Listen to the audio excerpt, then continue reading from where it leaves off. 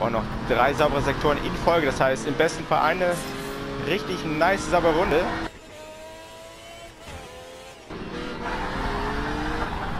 Saubere Runde habe ich... Oh, what? Welcome back, krassen Dudes und willkommen zurück zu einer weiteren Folge Project Cast 3 in der Karriere. Leute, heute fahren wir den wunderschönen Aston Martin auf einer wunderschönen alten Strecke, obwohl auf einer alten Strecke, ähm, nämlich Oh, wie heißt sie denn nochmal? Ich muss, ich muss ablesen. Das, ich, es ist französisch. Ich kann mir das hier merken. Rouen les Essarts. Leute, von 1955 bis 1970 wurde diese Strecke befahren. By the way, was ich echt schade finde, wir sind jetzt so oft mittlerweile diesen großen Kurs gefahren, aber eigentlich würde ich auch äh, gern mal die, die, die kurze Strecke fahren, weil die gibt es ja auch im Spiel. Und das ist, und da, das, da gibt es auch so einen kleinen interessanten Punkt, denn da, wo die Strecke äh, richtig breit und offen wird, da gibt es so in der Mitte der, der langen äh, Geraden einfach mal, ja, kompletten, kompletten Cut. Und, und dieser Kurs, der da nochmal zusätzlich hingemeißelt wurde, das ist tatsächlich 100% Rennstrecke. Das ist wirklich ein, ja, das wurde wirklich nur gebaut, dass nur Rennautos dort fahren, in einem Rennen. Und es ist keine normale öffentliche Straße. Aber sonst drumherum alles ist öffentliche Straße, nur diese Kurzanbindung halt nicht. Sehr interessant. Und sind, glaube ich, noch nie gefahren. Sehr schade. Aber kommen wir zurück zum Auto. Aston Martin DBR1 300. Natürlich gab es auch noch den äh, Ferrari äh, 205 Testarossa. Aber ich dachte mir, es ist ein, es ist ein Highspeed-Kurs. Da müssen wir auch ein Auto, was, Auto nehmen, was ein bisschen highspeediger unterwegs ist. Und und diese Farbe, oh Mann, die ist wirklich, die ist wirklich super. Ich meine, in einer Beziehung gibt es ja diese, diese drei magischen Wörter, ja, wenn man sich richtig gern hat. Aber wenn, wenn, man, wenn man mich fragen würde, ist es bei mir British Racing Green. So heißt die Farbe. Super nice. Achso, by the way, Fun Fact. Obwohl, nee, das kann ich, das kann ich im Rennen erzählen. Übrigens, Ferrari, älteres Modell, schlechtere Daten, ist aber auch ein älteres Modell. Ne? 138.000 gegen einem leicht aktuelleren Aston Martin nur 90.000. By the way, oben unser Kontostand 532. Das ist ziemlich traurig und wenig. Nun, wir gehen rein. Es wird ein Riesenhit. Also ich habe jetzt nicht auf das Wetter geachtet, aber jawohl, es ist trocken. Sehr schön. diese, diese Highspeed, sehr wahrscheinlich äh, äh Vollgas-Rechtskurve. Setup. Nun, nehmen wir. Schwierigkeit. Nehmen wir. Jetzt ist die Frage, ist Autoklatsch drin oder nicht? Ist draußen. Sehr gut. Brauchen wir auch nicht. Dann gehen wir mal rein. In den Aal. Diese ist grün. Uh. Oh. Der rote Zeiger, der hat richtig Bock. Die rote Nadel. Aber die bleibt immer am Drehzahlpeak stehen. Das ist ein schönes Detail vom Spiel.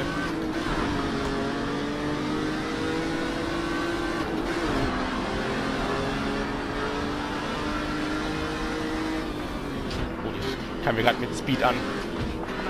Und holy shit, wir haben gerade runtergebremst.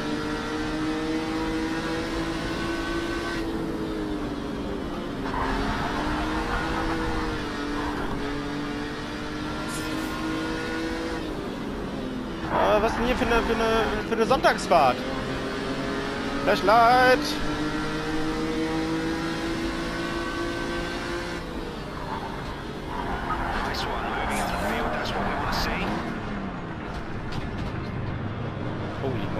Gleich in den Top 10. Von links, direkt vor uns. Start Nummer 110.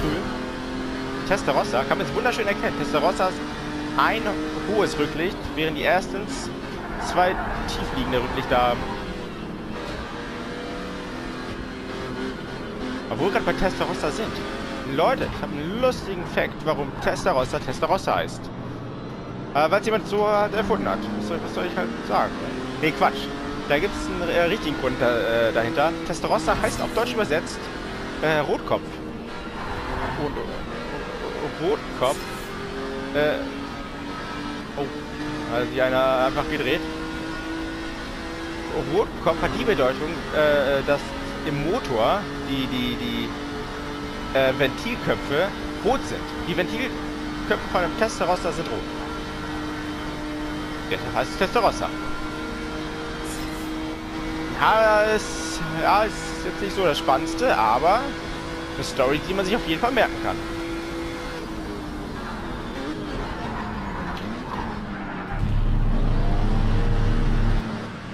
Boah, clean. Es hört sich bald irgendwie immer falsch an, wie ich schalte. Jetzt, jetzt wieder und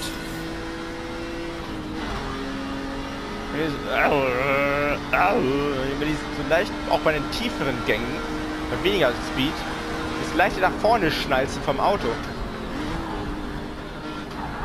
Das, das, das, das hört und fühlt sich einfach immer falsch an. Und egal, ob ich das richtig oder falsch mache, es, es, es hört sich falsch an. Aber anscheinend äh, war es damals so. Dass, das, dass die Gänge sich so schalten äh, haben lassen. Haben lassen tun hätte, wäre wenn.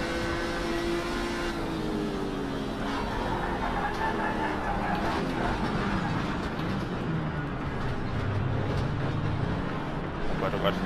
Jetzt, oh Gott, jetzt schnallt es mir nach vorn. Wenn wir nicht geschoben werden.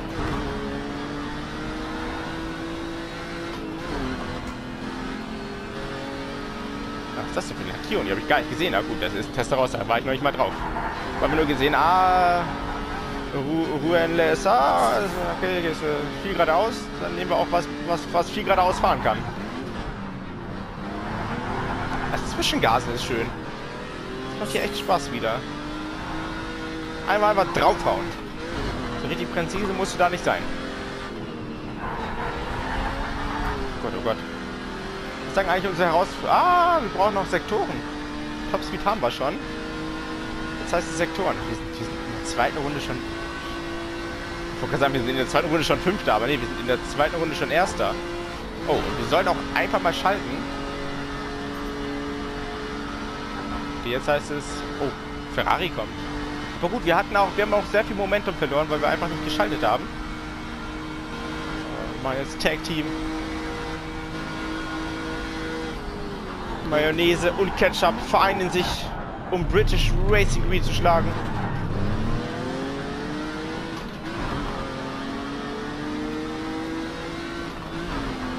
Obwohl, nee, ist einfach eigentlich Senf.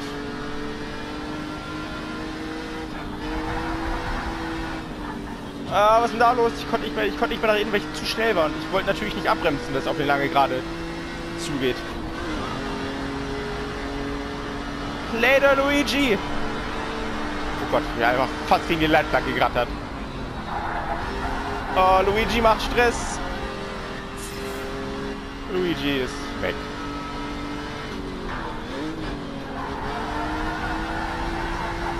Schön Gas geben in der Kurve, damit das hier schön einlenken tut. Das ist echt, ich, ich hab, ich schick das nicht. Nicht das, weil die, weil die so, so am Schwanken sind, die alten Autos, aber bei vielen Rennspielen musst du mit alten Autos wirklich Gas geben in der Kurve, wenn du die richtige Geschwindigkeit natürlich hast, damit du rumkommst.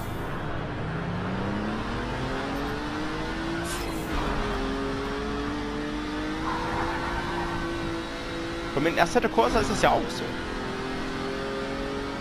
Wenn es äh, in Assetto Corsa so ist, dann ist es, glaube ich, würde ich jetzt mal äh, behaupten, dass es dann relativ akkurat ist und dass es halt wirklich so war.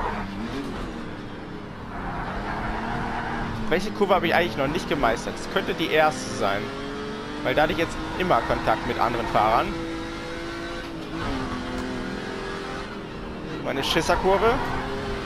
Ich, ich, ich traue mich da einfach nicht Vollgas rumzufahren oder, oder halbwegs schnell. Weil wenn du einmal diese Heu, äh, Heuballen erwischt, ist einfach dein Auto RIP. Also, also RIP-RIP. Du machst echt nichts mehr gegen. Und für die nächsten Runden liegt es dann halt immer auf der Strecke und du musst halt elendig ausweichen. Währenddessen die KI das nicht als Objekt oder als, als Ausweichobjekt irgendwie sieht, einfach voll dagegen juckelt und einfach alle sterben.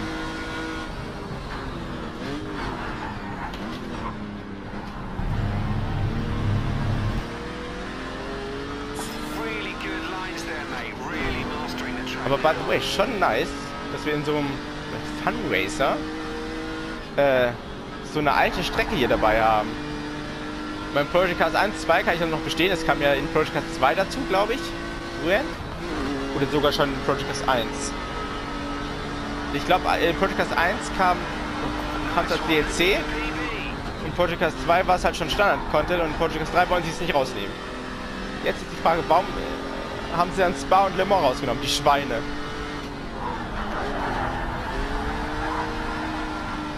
Ja, aber was mir noch wünschen würde, einfach noch mehr. Einfach so, so ein Band, so, so ein Bundle, Classic Tracks, Classic, Classic Cars, wo dann, oh, eine Strecke, die wirklich, also die eigentlich hammer lame ist, aber auch, aber so, so Rennhistorienmäßig schon äh, interessant war. Die Strecke mit der Wall of Death. Also mit einer richtigen Wall of Death. Nämlich der alte Arbus. Äh, äh, äh Arbus-Ring. Nennt man das Arbus-Ring? Schön von, von Autobahn drehen, Autobahn zurück und dann in eine, ich glaube, wie viel, wie viel Grad hatte die, die, die, die Arus-Kurve? Ich glaube, das Doppelte von, von, so, von, von, von Daytona. Was sind das jetzt so? 32 Grad? Mehr, oder? War das 32 Grad? An, an, an Banking? Dann so alte, und was ich auch wirklich vermisse. Also wirklich, also ich will endlich mal so alte Autos haben wie, wie von Auto Union. So, so alte oder so diese Sterling Moss Ära. Obwohl hier dieses Auto wurde auch von Sterling Moss be äh, bewegt. Und halt von Carol Shelby. Unter anderem auch äh, in Le Mans. Die sie eigentlich immer irgendwie unterlegen waren. Das erste, erste Le Mans-Auftritt, ein Auto, DNF raus, ne? Motorschaden weg. Dann kamen sie wieder mit drei Autos und dann äh, wieder äh, drei Autos, auch die drei Autos. Äh, ja, technisches Versagen und weg. Dann den letzten Jahren, was auch unser Modell jetzt ist, von, von, von 59, äh, haben sie dann ja, doppelt, also als Zweit- und Erstplatzierter gewonnen.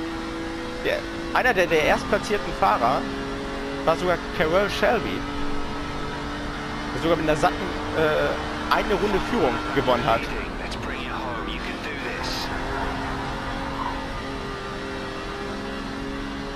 Aber wenn man so hört, so, die Jahre davor hat es in Le Mans einfach nie geklappt. Aber es gab immer, oh Gott, hab ich hier in der 4. Es gab immer eine Strecke, wo es immer geklappt hat und das war die Nordschleife. Also genau gesagt 1000 Kilometer Rennen äh, äh, vom, vom, vom Nürburgring. Aber da es damals die Grand Prix Strecke nicht gab, war es die Nordschleife. Und dort haben sie halt immer gewonnen. Drei Jahre hintereinander. Und zweimal äh, mit Sterling Moss am Steuer.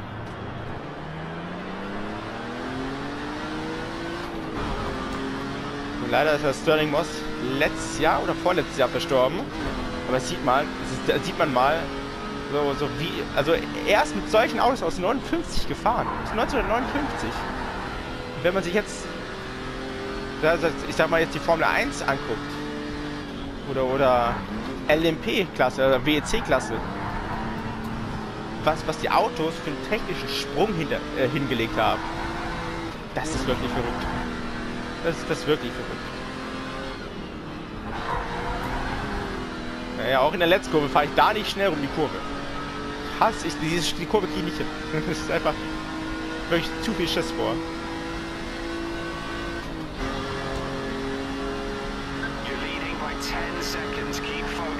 Also übrigens, äh, nach 59 haben die sich dann aus, aus dem, wie nennt man das, wie hieß der, Auto, Marken, äh, Weltmeisterschaft, Automobil-Weltmeisterschaft zurückgezogen, um dann, Obacht, äh, sich in die Formel 1 äh, sich, in die Formel 1 ja, mit, mit einzugliedern. Und dann hörten sie damals auf und jetzt sind sie wieder in der Formel 1 mit dem wunderschönen British Racing grünen Mercedes Bolin.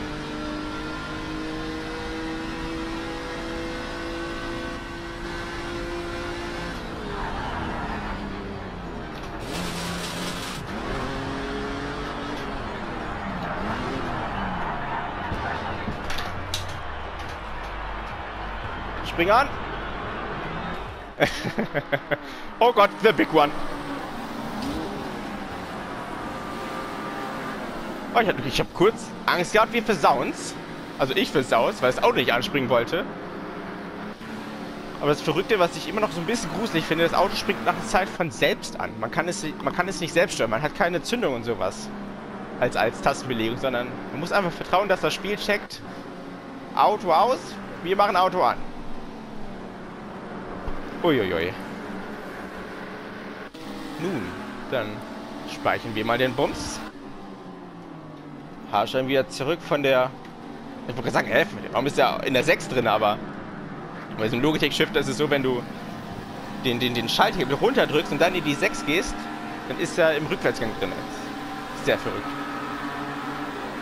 Ja, war natürlich ein langes Rennen. Ich meine, eine schnelle Strecke mit jetzt nicht so vielen Runden, aber eine schnelle Strecke mit langsamen Autos äh, wird dann auch wieder zu einer langsamen Strecke. Oh, Hinz Harold Friedrich III. Hört, hört. Er ist Achter geworden. Schmutz. das geile an Ferrari, diese, diese, diese enormen äh, äh, Sidepipes. Äh, schöne Auspuffanlage, die einfach seitlich rausgeht. Ob Carroll Shelby damals davon inspiriert wurde, wo dieses Auto gefahren hat. Weil jedes Shelby-Auto, oder, oder? Haben doch diese, diese, diese extrem männlich rausragenden Sidepipes. Hey, Meistere mehrfach Ruen. Nett. Und wir kriegen wieder Geld, das ist super nett. Oh, wir kriegen doppelt Geld, das ist super, super nett. Nett. Ja, ja. Super, super nett, nett. Nicht, ver nicht verwechseln mit dem Truthahnhahn. Oh ja. Das ist nice, bringt uns aber nichts, da wir in, in, in Einladungs- und, und Herausforderungen äh, äh, ne, in der Regel nichts upgraden dürfen. Deshalb schenken wir uns diesen Upgrade-Rabatt. Nun. Oh, dieses Auto, ey. Eieiei.